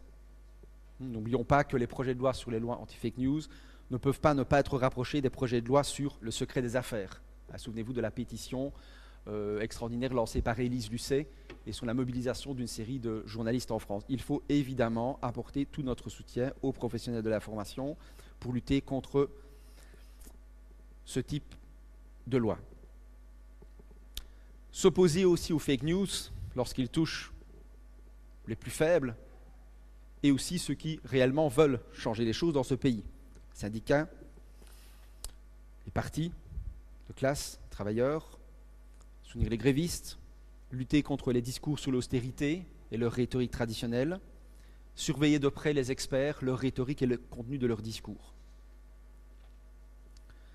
Il y a enfin une série de mécanismes qui peuvent générer des fake news n'est pas mécanique. On pourrait s'en expliquer si vous me posez des questions. Il est évident qu'un rédacteur en chef de journal a une certaine liberté. Il est évident que le patron d'un groupe de presse, une grande fortune, ce n'est pas lui qui écrit. Il ne dit pas au journaliste, écoute Coco, tu vas écrire ceci, ceci, cela. Ça peut arriver sur certains dossiers, il ne faut pas être naïf, mais de façon générale, oui, il y a un effet important de l'actionnariat et de la question du contrôle de propriété des médias sur le produit. Mais le lien n'est pas mécanique. On n'est plus à l'époque du général de Gaulle où le ministre de l'Information sonnait et disait écoute, c'est comme ceci, comme ceci. Ça ne veut pas dire qu'il n'y a pas encore des procédés qui sont comparables. Il faut étudier sociologiquement comment tout cela fonctionne. Et notamment cette interface entre rédaction et conseil d'administration que sont les élites médiatiques, les rédacteurs en chef, les chefs d'édition, dont les, les, carrières de nomination sont liées aussi en partie à la volonté et à certaines décisions des conseils d'administration. C'est là que les choses peuvent se jouer. Et donc il faut sociologiquement éviter de dire, je le dis souvent à mes étudiants, ne, ne dites pas les journalistes, ça n'existe pas les journalistes. Enfin oui, tous ceux qui ont une carte de presse, oui ok si on veut. Mais les journalistes, ça n'existe pas. Il faut sociologiquement pouvoir distinguer l'immense majorité des journalistes, dans lesquels il y a aussi les faux indépendants, les CDD, les jeunes journalistes, qui sont dans des conditions aussi précaires en début de carrière, l'immense majorité des journalistes, qui voient aussi leurs conditions de travail se dégrader, et puis l'élite des médias, qui n'est pas un corps social exactement comparable. Et là, on pourrait renvoyer à des travaux très classiques comme ceux de Rémi Riffel dans les années 80, qui déjà montraient cela dans son bouquet L'élite des médias. Et qui n'avait rien d'un gauchiste, mais qui montrait que l'élite des médias était à bien des égards distincte de la grande masse des journalistes. Origine de classe, trajectoire scolaire, conditions de travail, salaire, carnet d'adresse, réseau sociabilité, valeurs, vision du monde, etc. Alors quels sont ces mécanismes qui posent problème, qui mettent à mal le pluralisme et la qualité du débat public dans une démocratie digne de ce nom? Ce qu'on pourrait espérer un jour avoir une démocratie véritablement digne de ce nom. D'abord lutter contre les ménages. Je n'ai pas dit les femmes d'ouvrage, hein, les ménages, c'est-à-dire ces mécanismes où des journalistes, vedettes souvent, mettent une partie de leur capital symbolique, de leur trajectoire, de leur reconnaissance au service d'entreprises privées lorsqu'ils vont animer une conférence pour telle compagnie d'assurance, telle banque, tel parti politique. Cette chose est courante en France, elle l'est également en Belgique. Identifier clairement les interlocuteurs, les, experts, d'où parlent-ils hein, Pour reprendre le titre d'une conférence qui avait été organisée à l'Université de Liège par des collègues il y a des années, c'était les lieux des lieux communs, les lieux des lieux communs. D'où parlent ces experts? Ce sont des experts, oui, mais ça existe des experts neutres, parfaitement objectifs Bien sûr que non. Donc connaître leur trajectoire, connaître le cumul de leur mandat, savoir quels sont les autres espaces autres que l'espace universitaire où ils travaillent, ça dit quelque chose de leur vision du monde. C'est une approche matérialiste qu'il faut développer. Et là, nous avons notamment les travaux de Gramsci qui nous aident vraiment à penser ces choses. Soutenir les journalistes qui sont en lutte, comme faire le PowerPoint, qui lutte contre les pertes d'emploi, ce qu'on appelle très pudiquement dans la presse et ailleurs les restructurations, la dégradation de leurs conditions de travail imposées par le patronat des médias. Là, on aimerait pouvoir renforcer les liens, les solidarités et avoir des associations de journalistes professionnels peut-être plus combatives encore sur ce terrain et qui n'hésitent pas à pointer du doigt les origines du problème qui est bien l'appropriation privée des médias. Enfin, imposer une série de mesures, de limites pour mettre à mal le pouvoir du patronat de la presse dans le secteur. Réduire drastiquement le nombre de médias autorisés à être contrôlés par un même groupe. Une série de personnes en France militent autour d'Acrimède du monde diplomatique sur ces questions. C'est Serge Almy, le documentaire Les Nouveaux Chiens de Garde, etc. Des gens avec qui j'ai eu l'occasion à plusieurs reprises de collaborer Là aussi, il rappelle une série de mesures qui avaient été adoptées en France à la libération. Un titre, pas plus, un titre de presse par famille et par groupe. C'est plus un groupe, vous allez me dire. Et alors? Revoir les aides d'État à la presse. Pourquoi des aides d'État à la presse Pour toute une série de groupes de presse contrôlés par des grandes fortunes, groupes de presse qui n'hésitent pas à restructurer et à licencier. Pourquoi ne pas attribuer uniquement ces aides d'État à la presse avec d'autres clés de répartition à des projets véritablement alternatifs, indépendants des milieux financiers des milieux politiques? Pensons à Médor notamment, projet Léjois, notamment David Leloup qui est un ami qui a un travail remarquable de journaliste d'investigation. Là aussi, il y a un vrai problème. Et enfin, envisager, je terminerai par là, très sérieusement les moyens d'en finir définitivement avec le pouvoir de l'argent et du capital dans les médias. L'information est un bien public, devrait être un bien public. L'information est trop importante en démocratie pour la laisser au seul pouvoir du capital. Il faudra donc envisager, tôt ou tard, une socialisation des moyens d'information, mais pas d'une étatisation, pas d'une socialisation des moyens d'information, avec pourquoi pas des médias dont les conseils d'administration ne seraient plus truffés de millionnaires, de milliardaires, de grandes fortunes belges, mais des travailleurs du secteur, hein, que ce soit les techniciens, les administratifs et bien sûr les journalistes, de citoyens et de lecteurs. Ça semble être un vœu pieux, mais je pense que si on ne s'attaque pas aux problèmes de fond, si on n'attaque pas le mal à sa racine, si on n'est pas radical au sens étymologique du terme, on risque bien encore très longtemps de constater le développement de fake news, l'absence du monde du travail dans les médias et la stigmatisation de ceux qui les défendent. Voilà, je vous remercie.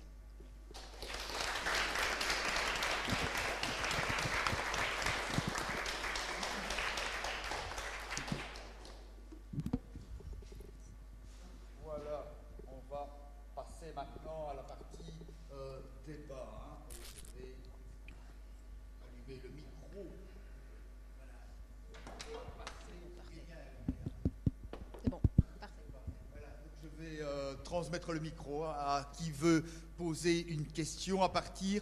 Je vois qu'il y en a déjà une, donc ça me dispense d'en poser une première. Hein. C'est toujours la plus difficile à, poser. Et je vais vous passer le micro puisque la conférence et le débat est enregistré. Voici. Eh bien, monsieur, je ne vous félicite pas. Vous m'avez fait, euh, définitivement perdre mes dernières illusions. Euh, je pensais, euh, enfin, on peut constater assez facilement à notre niveau de citoyen alpha qu'il y avait une collusion entre le monde politique et le monde de la grande finance.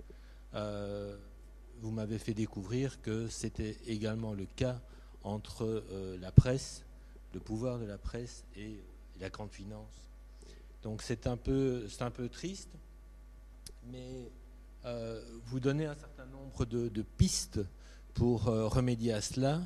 Euh, ces pistes, me semble-t-il, s'adressent essentiellement à des journalistes ou à des professionnels. En tant que citoyen alpha, qu'est-ce que je peux faire? Je suis incapable d'analyser avec autant de sens critique, parce que je n'ai pas la compétence, les articles sont publiés un peu partout. Je ne connais pas le parcours euh, des, gens qui ont, qui ont écrit ça.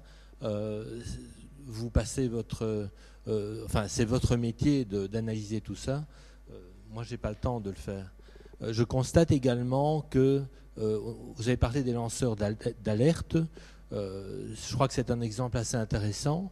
le statut des lanceurs d'alerte s'est singulièrement affaibli récemment. Donc j'ai l'impression qu'on va dans la mauvaise direction, qu'on continue à aller dans la mauvaise direction. Alors, qu'est-ce que vous pensez de tout ça et que peut-on faire en tant que citoyen?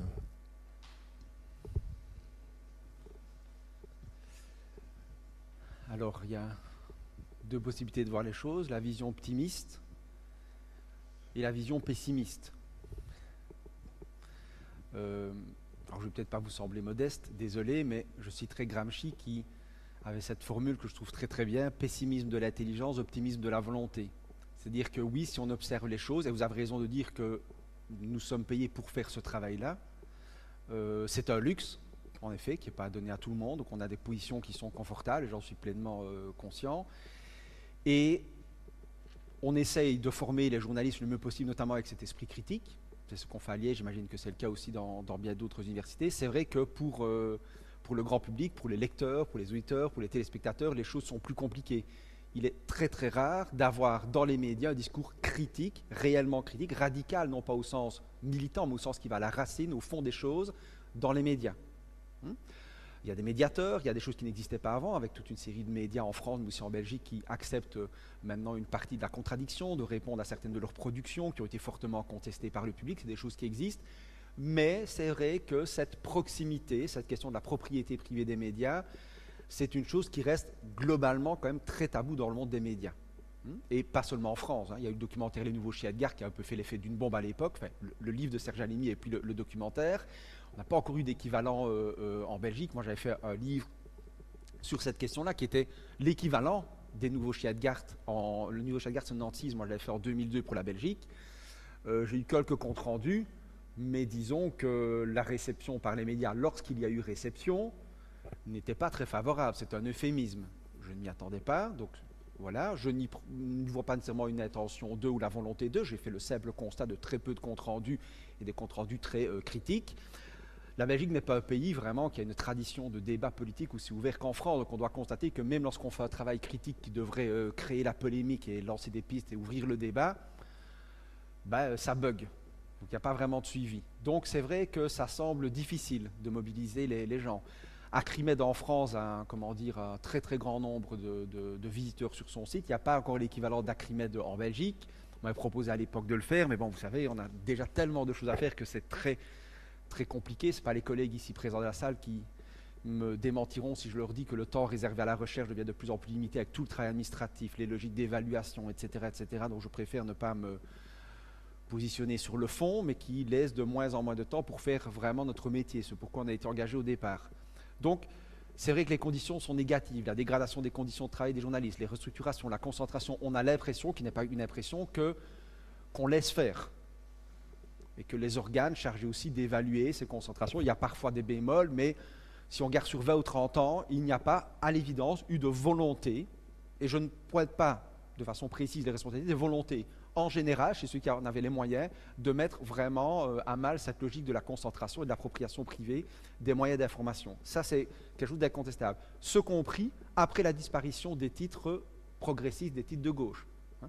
le euh, la Wallonie, le journal de Charleroi, le Peuple, il y a eu le matin. Il n'y a plus de presse, clairement. Un progressiste, tout le monde peut se réclamer du progressisme, ça ne mange pas, mais d'une presse réellement euh, de gauche, proche des syndicats, du monde travail, elle n'existe plus pourrait dire que le, titre le plus à gauche dans la presse mainstream en Belgique, c'est de Morgan, c'est vous dire. Bon. Donc, euh, le constat, il est objectivement euh, difficile, c'est clair. Vous avez évoqué la question des, lanceurs d'alerte, c'est très vrai. Les lois, justement, sur les fake news, je lui ai dit, bon, les fake news, on pourrait finalement ne pas en débattre. D'ailleurs, quand Serge m'a contacté la première fois, je lui ai dit, écoute, Serge, que veux-tu que je raconte sur les fake news? Pour moi, ça semble être un effet de mode, ce qui ne veut pas dire que ça ne va pas durer dans le temps. Moi, je ne suis pas un prophète, je ne sais pas. En gros, ça me semble être assez proche de la désinformation. Et le discours des médias dominant là-dessus, bon, je veux dire, euh, euh, il y a des mauvais médias, puis nous on fait bien notre travail, il faut nous aider à faire mieux notre travail, un peu plus de déontologie. Bon, je dis, bon, j'ai rien à raconter là-dessus, ça me semble, voilà. Et puis en y regardant bien, je me suis dit finalement, euh, ça pose quand même, comme j'ai dit dans l'introduction, des questions intéressantes. On peut retourner l'argumentaire de De et dire, ben, vous voulez qu'on fasse ce travail que vous proposez? Qui sont derrière les sites? Qui sont derrière les médias traditionnels? Est-ce qu'il y a une vraie transparence des sources, des intervenants? On va faire le travail. Alors il faut analyser tous les médias, il faut exercer un regard critique sur tout, euh, tout ce à quoi nous sommes confrontés quotidiennement.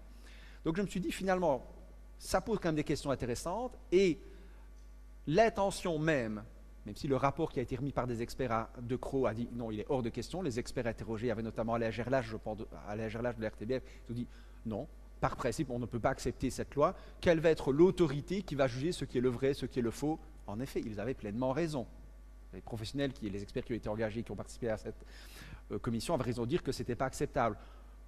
Pour une fois, c'est rarement le cas, mais pour une fois, j'étais d'accord avec un commissaire européen qui disait qu'en effet, on ne voyait pas euh, au nom de quelle légitimité qui allait pouvoir dire moi je dis qui est le juste, qui est le vrai. C'est de la censure, enfin, ce n'était pas acceptable. Donc, euh, cette loi n'a pas abouti. Reste qu'il y a eu la volonté d'eux. Et ça pose toute une série de questions. Comme je dit, j'ai l'impression qu'on a atteint un, tel stade dans euh, la contradiction des inégalités, la contradiction des, inégalités des, différents de classes, dans la montée en puissance dans certains pays euh, d'une gauche qui ne s'en laisse pas compter, etc. la montée en puissance du retour du journalisme d'investigation, les lanceurs d'alerte, ça dérange ça dérange incontestablement une série de milieux, les milieux économiques, pour ne pas les, nommer plus clairement encore, et leur fondé de, et leur fondé de pouvoir politique, leurs représentants qui, à l'évidence, veulent prendre des mesures. Et si vous mettez ça en parallèle avec l'évolution de la législation sur la question de la migration, euh, la droitisation du paysage, euh, la montée des populismes de l'extrême droite, du fascisme dans toute une série de pays, le constat, en effet, c'est n'est pas très rassurant. C'est pas très rassurant. Mais on ne peut rien faire d'autre que d'alerter, de résister, de tenter de se mobiliser partout de l'échelon local, des gens, dans les universités, de faire tout ce qu'il faut, parce que je crois que d'autres mesures et d'autres projets liberticides vont venir. Je crois très profondément. Et donc, on n'a pas d'autre choix. Il reste, comme disait Gramsci, l'optimisme de la volonté. On ne peut, pas accepter ces choses-là. Il va falloir, à mon avis, lutter sur tous les plans, sur le plan intellectuel, sur le plan politique, sur le plan économique, dans les entreprises, les syndicats.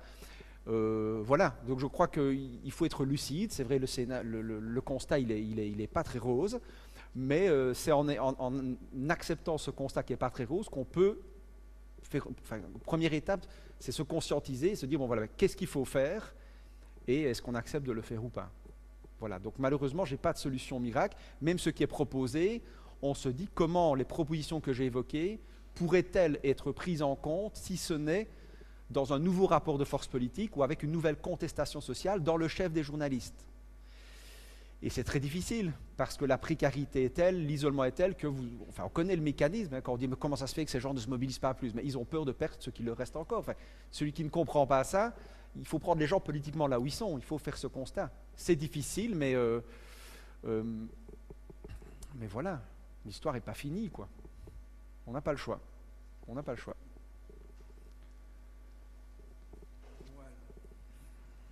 Moi, j'aime bien les journalistes d'investigation. Mais en Europe, euh, ça devient très dangereux parce qu'on les assassine les uns après les autres. Et, bon, mhm. ils ont beau alerter, mais ils ont alerté, puis on les assassine comme ça. On est bien tranquille. Hein, le pouvoir est bien tranquille. Voilà. Alors, je ne sais pas ce qu'il faudrait faire un petit peu, au moins au niveau européen, pour faire stopper ce procédé, ces procédés-là. Voilà au niveau européen, je pense que même si les journalistes se mobilisent, et ils sont en train de se mobiliser, vous avez des responsables politiques, des commissaires qui ont rappelé que c'était scandaleux d'assassiner des journalistes, de s'en prendre la liberté de la presse. Je, je crains que ces déclarations d'intention, même si elles sont louables, n'empêchera pas certains milieux de continuer à se débarrasser de certaines personnes gênantes. Et quand je dis certains milieux, je ne sais pas de qui il s'agit, je ne sais pas qui est à l'origine de l'assassinat des journalistes. C'était à Malte, hein, c'est ça, à Malte et en les journalistes femmes en Bulgarie et un lanceur d'alerte à Malte, c'est ça? Voilà. Euh, voilà, alors il me semble que le. Ah bon, voilà. Euh, il, me semble que. On pourrait toujours dire que la situation est un peu différente en Belgique et en France. On se dit. Euh, on, imagine mal, en l'état actuel, je ne sais pas qui, s'en prendre à l'intégrité physique de journalistes d'investigation et de lanceurs d'alerte. On a un peu l'impression, naïvement, enfin naïvement, je ne sais pas, c'est naïf pas, je ne sais pas, je, ne sais pas ce qui, peut, advenir, mais on se dit, pas chez nous. Alors on se dit, oui, ben c'est les anciens pays de l'Est. Donc, oui, bon, les stéréotypes, on se dit, oui, là c'est différent. Je ne sais pas. Est-ce que ça peut arriver un jour chez nous Peut-être, peut-être, je ne sais pas. J'espère que non, bien évidemment, mais je vois l'évolution de la législation, euh, la loi sur le secret des affaires. Donc, euh, en tout cas, au niveau législatif, euh, à l'évidence, il y, a un renforcement de toute une série de mesures répressives pour s'en prendre aux journalistes, aux lanceurs d'alerte. Et derrière les, lois anti-fake news, ben, vous voyez bien bon, que quand, Trump parle de fake news, etc., bon, on a quand même du mal à imaginer Trump en garant de la démocratie, du pluralisme. Quoi. Donc, on, euh, voilà. Alors, je ne dis pas que l'intention euh, est que Macron, c'est Trump quand il propose des projets qui semblent similaires. Je dis simplement que quand on voit l'origine du mot fake news, les premiers débats, Trump, etc., on se dit, était-ce bien utile euh, d'endosser ces débats et ben on doit bien, constater qu'au nom de la loi contre les fake news, au, nom de la volonté de lutter contre des fake news, il y a des projets de loi en Belgique et en France aussi. Et heureusement, les experts qui ont été euh, en commissionnés, je vais dire, par euh, De Croo, si j'ai bien lu la presse ce matin, parce que j'ai préparé jusqu'à la dernière minute la conférence, j'espère ne pas me tromper, je pense que c'est le cas, ils ont refusé en effet euh, le fait d'adopter une loi anti-fake news avec le même argument que celui évoqué par une commissaire européenne, qui est le, le gardien du vrai et du faux, euh, non, enfin, c'est inacceptable, évidemment. Or, pour le reste, moi, je ne peux pas savoir si d'autres journalistes d'investigation vont être menacés de leur intégrité physique ou pas. On peut le craindre. Ah oui, on peut le craindre. Alors, comment empêcher ça? Une loi? Bah, Il est interdit de tuer. Donc, je veux dire, c'est pas ça qui. Donc, euh, là, à nouveau, je, pense, je, je crains, comme très souvent, qu'il n'y ait que des mobilisations collectives, des luttes sociales qui permettent de, de faire évoluer les rapports de force. Quoi. Ce n'est qu'une histoire de rapports de force, je le crains. Enfin, je ne le crains pas, c'est comme, comme, ça. Hein. C'est l'histoire sociale du pays est ainsi aussi. Pas seulement de la Belgique d'ailleurs.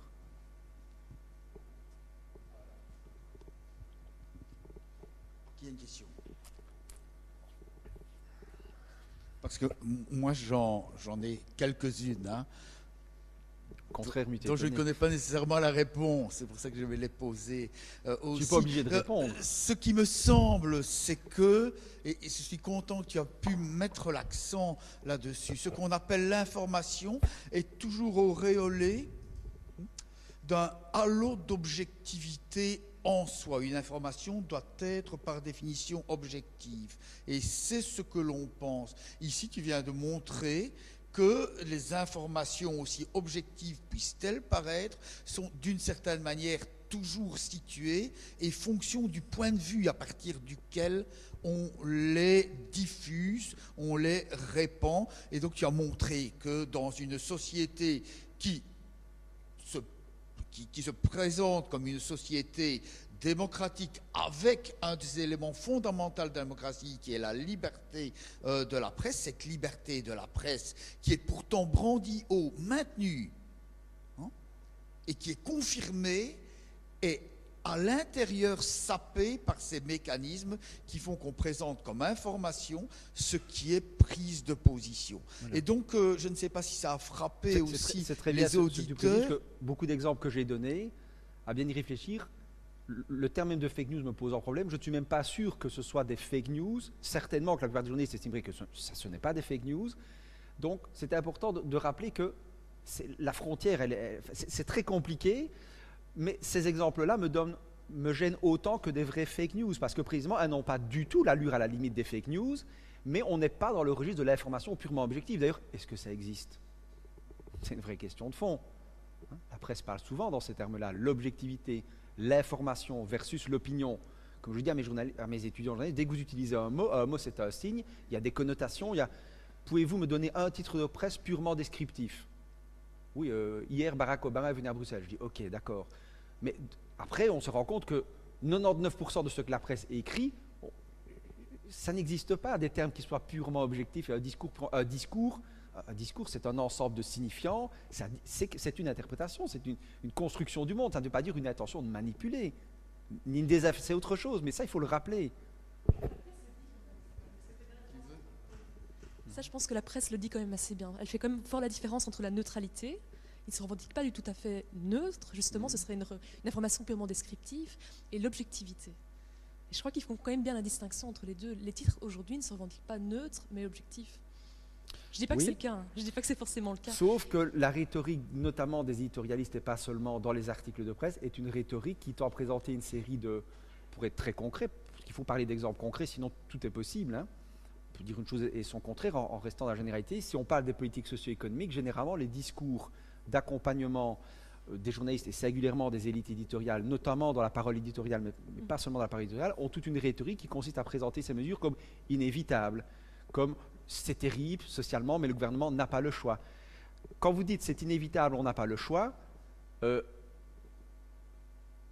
on est dans un, dans un discours qui, présente une, qui est une prise de position, mais qui se présente comme une non-prise de position. Ce n'est plus un choix politique. On naturalise les choix politiques comme étant des évidences. Vous voyez? Quand une, rédactrice en chef ou un rédacteur en chef dit euh, Nous devrons travailler plus longtemps parce que nous vivons plus longtemps », ce journaliste sait qu'il exprime son opinion, mais il est clair que tel qu'il est présenté, c'est donné comme une évidence. Il doit contextualiser son opinion. et donc il faut recontextualiser, montrer et déconstruire, démonter toute cette rhétorique, cet argumentaire qui est un argumentaire qu'on peut retrouver dans certains partis politiques, une série d'arguments classiquement patronaux. Je veux dire, vous lisez le bouquin Idéologie et patronat de Modène et Slover des années 70, on retrouve les mêmes arguments déjà à l'époque, quand ils analysaient le discours patronal, et il est repris aujourd'hui dans les médias privés, mais aussi à la télévision et dans les radios publiques, est présenté comme une chose évidente. Donc il faut chaque fois se méfier de ces discours de naturalisation, comme disait Barthes. Là, il y a de la naturalisation, il y a de la dépolitisation, c'est la fin de l'histoire, en gros. Et donc, oui, ils diront, il y a les faits et les opinions. Dans la réalité, quand vous prenez un même média, vous dites que même les articles purement factuels, ben, vous, allez, on peut décortiquer et dire ça, vous êtes sûr que c'est factuel? Euh, Vous présentez ça avant ça. Donc, je pense qu'il y a très peu de choses purement factuelles et objectives et que même le journaliste, lorsqu'il fait une tribune, notamment la parole éditoriale, transforme, mais très largement inconsciemment, il n'y a même pas de volonté, c'est devenu leur quotidien, hein, ils jonglent avec ces mots. Vous savez, l'idéologie dominante, je veux dire que pour, eux, ce n'est ni, une idéologie ni dominante, c'est une, une, évidence. Et ceux qui vont contre, ce sont des illuminés ou des gens qui n'ont rien compris, etc., etc. Et donc souvent, c'est présenté que sous, le sceau de l'évidence, de, la de la fatalité, de l'objectivité, justement, de, de la science. C'est ainsi, on ne pourra pas payer les pensions. Hmm? Il faut bien activer les chômeurs. ça vient d'où ce il faut hmm? Donc, euh, en théorie, en effet, c'est deux choses très distinctes, l'information, l'objectivité, l'opinion. Dans la réalité, je pense que c'est très difficile de distinguer les deux en réalité. Sauf dans quelques exemples, on pourrait quasiment tous être d'accord, bien sûr. Hein, si on dit oh, Barack Obama à tel âge, oui, ok. Enfin, ce n'est pas un débat de fond, ça. Hein. Moi, je parle des choses importantes, c'est-à-dire les questions où les médias construisent l'actualité sur des débats de fond et des questions sociétales qui nous engagent à très long terme. Et là, moi, je ne vois pas ni objectivité. Je pense que pas plus que je ne suis évidemment parfaitement objectif. Ça dépend de la définition de l'objectivité, mais oui, tout à fait. Mais moi, euh, oui, oui, mais je, mais je, je, dis souvent à mes éditeurs, l'objectivité pure, pour moi, ça n'existe pas. Quand vous parlez de la question des pensions, c'est quoi Non, vous allez avoir des positions qui sont des positions de classe. Et dans ces positions de classe, dans vos argumentaires, vous essayez d'être le plus fidèle, le plus objectif, le plus rigoureux par rapport à votre argumentaire, d'être, correct, de ne pas avancer des éléments factuels qui n'existent pas du tout. Mais après, qui peut penser qu'on peut parler de l'avenir des pensions d'un point de vue purement objectif? Ça n'existe pas.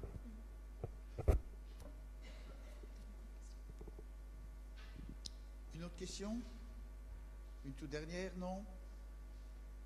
Pourrais en poser une et puis euh, euh, on va terminer. Je dis ce qui me frappait dans l'exposé, c'est que on a pu, c'est peut-être frapper euh, l'auditoire également, c'est que ce qui est présenté comme information, mais on pourrait les comprendre comme non pas des informations, mais des prises de position ou des commentaires. Et tu as cité toute une série d'extraits, de phrases de la presse qui sont moins des informations que des commentaires. Donc ce qui me frappe, c'est que ce qui est présenté comme information, souvent ne peut pas se passer euh, de ce commentaire et par définition déjà un commentaire, ne serait-ce que dans le choix qui est fait, qui est opéré euh, de l'information que l'on va retenir. La sélection de l'information est déjà un commentaire est déjà une subjectivité introduite. Alors on va le présenter comme la nécessité pour être un bon journaliste d'être le plus objectif possible. Cette objectivité, c'est la moindre des choses de dire qu'elle n'existe pas. Donc on va dire, puisqu'elle n'existe pas, on peut tendre vers elle, plutôt que d'envisager que cette objectivité qui n'existe pas, loin de vouloir tendre vers elle, on ne la euh, prend en considération qu'à partir de ce point de vue, que des points de vue de classe, point de vue social à partir duquel on parle et on en parle différemment selon qu'on se situe d'un côté ou de l'autre de la fortune. Et on voit très clairement qu'ici, cette presse qui a pour elle toute cette couverture et ce vêtement d'objectivité est une presse qui, en tout cas pour ce qui est l'exemple de la Belgique donnée, est aux mains de grands groupes de presse répond aux intérêts euh, de financiers, non pas mécaniquement pour les journalistes qui ont toujours leur euh, propre liberté, mais qui savent aussi où sont placées les limites, les frontières, les garde-fous à ne pas dépasser, à, à l'intérieur desquels ils ont très certainement cette liberté tant valorisée, mais qui est fortement limitée par le point de vue, et ici le point de vue que tu as pu démontrer, je pense, très financier, à partir duquel on va parler de questions qui intéressent la population, qui n'est pas nécessairement détentrice des fortunes à partir duquel on parle, et qui est peut-être d'autres, sinon conceptions, si elle pense, d'autres intérêts que celles à partir desquelles on prétend informer. Tout à fait. Voilà, c'est la réponse. Je, oui, oui, eh ben, est-ce qu'il y a encore éventuellement quelque chose Je partage ça à 100%. Non. Eh ben, L'objectivité pure euh, n'existe pas, mais c'est un, un, idéal, c'est un horizon. C'est comme la déontologie journalistique. Et puis vous avez toute une série de mécanismes, dont les conditions de travail, qui font que parfois euh, c'est difficile hein, euh, au, quotidien. Et bien comprendre que dans cette histoire-là, les, les, perdants, ce sont évidemment les, opinions publiques et ce sont les journalistes eux-mêmes, hein, dont les conditions de travail sont considérablement dégradées. Voilà. Eh bien, euh, on va rester là. Et on va remercier alors euh, notre orateur liégeois hein, d'être venu jusque, jusque Mons hein, pour euh, nous apporter cet éclairage particulier euh, sur ce qu'on peut appeler des fake news, là où on ne penserait pas nécessairement les trouver. Si l'on veut encore dernière conférence, dernière étape, dernière soirée de ce cycle fake news, Là, je vous y ai invité, ça sera le mardi 27 novembre, 18h. On retrouvera l'auditoire La Fontaine et ça sera un débat avec Patrick Vernier, qui pour la communauté française de Belgique est un chasseur de fake news, et en même temps Michel Collomb, qui à travers investigation, lui aussi chasse les fake news.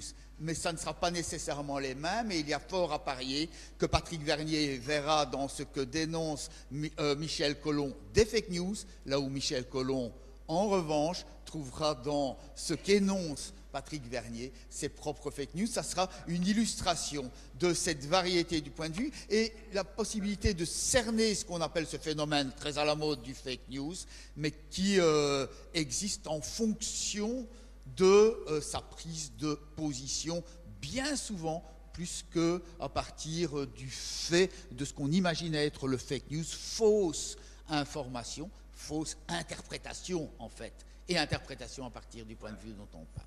Voilà, merci bien, bonne soirée, et, au mardi 27 euh, pour ce